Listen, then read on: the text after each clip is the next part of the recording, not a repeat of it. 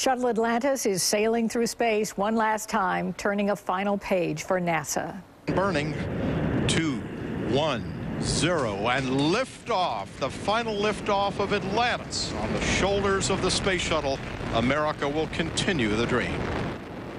Uh, despite forecasts of bad weather, Atlantis and its crew did blast off on its last mission today. Viewers across America watched the historic beginning of the end for shuttles program, the NASA shuttle program, including a special event at Buffalo State College today. News 4's Michelle McClintock reports.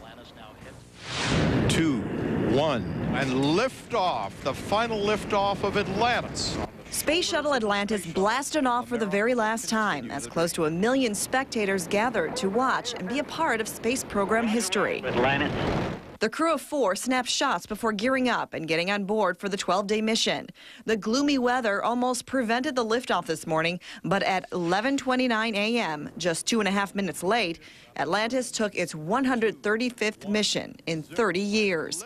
Here in Buffalo, these shuttle enthusiasts found the perfect place to watch the launch. The Buffalo State College Whitworth Ferguson Planetarium showed the shuttle liftoff on its 24-foot dome. At the time, I wanted to be an astronaut, and I was like, you know, someday I'm going to be on the shuttle. The planetarium runs programs for those interested in space. It's running a Moon and Mars program, and in August, you can come to see a sky show.